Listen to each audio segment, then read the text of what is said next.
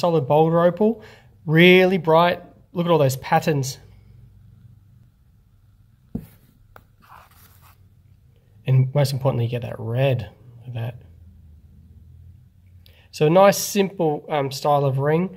Um, oval, which is the most most um, popular shape. Um, can we focus? There we go. Focus. There we go. Uh, but look at the red.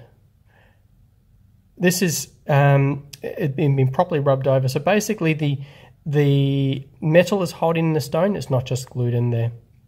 We have our little logo and our stamp there, and also a bridge underneath the opal just to protect it during resizing. There we go. Really nice little 100% natural solid boulder opal. Not a doublet, not a triplet, not a synthetic. This is a real opal from Queensland in Australia.